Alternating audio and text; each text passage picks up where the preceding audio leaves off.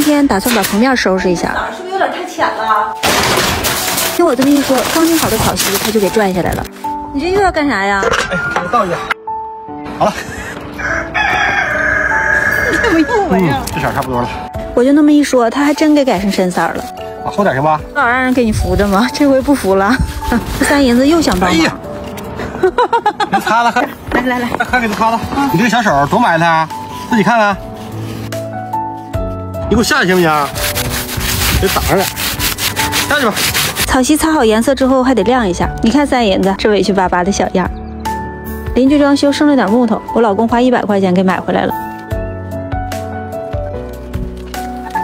好嘞。我俩特别喜欢农村，喜欢这种淳朴随意的生活。每当在院子里干活，听着大自然的虫鸣鸟叫，那种心情真是说不出的放松。木头扒完皮之后，又一个个擦上了油漆，说是这样可以防蛀。好，可以摆整。好不容易做好了，还坏了一根，没办法，只能找一根长点的接了一块。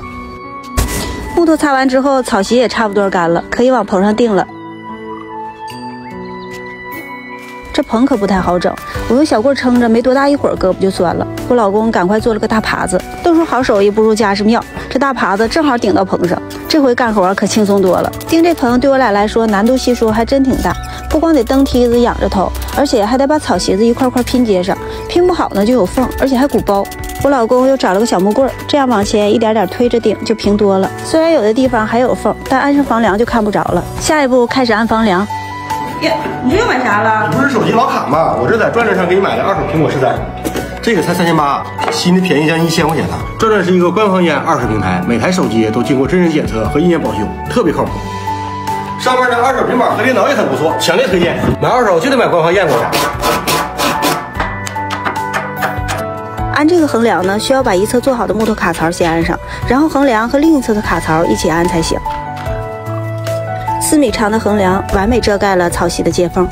整个过程中，我手中的这个小木棍也立下了汗马功劳，起到了四两拔千斤的作用。好了，棚做好了，你看，他又琢磨起客厅的灯来了。